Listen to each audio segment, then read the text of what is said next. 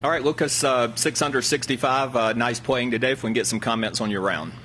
Um, yeah, it was nice to play well out there. Um, I felt like I started the week playing really nicely.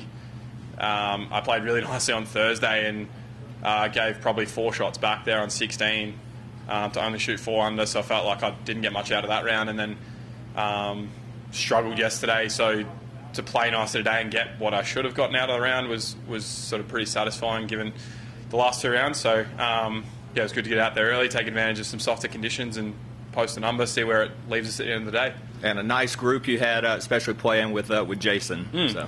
I always enjoy playing with Jason. Um, just does everything really, really well, um, and mentally very good to watch and, and, copy in a lot of ways. So um, enjoy his company um, as much as anything as well, but it's really good to feed off him um, from a golf point of view too. Just one bogey out there. Can you take us through number 11? Yeah, I just turned the tee shot over and sort of was in a dicey lie in the rough. Didn't get it out the way I would have wanted to, and couldn't get it up and down. It wasn't really wasn't really a lot to it. Didn't think too much of it at the time. Um, just happens. Like it's I wouldn't say it's a hard golf course out here. We're not going to make a lot of bogeys, but they creep in every so often. So I didn't didn't uh, take too much harm from that.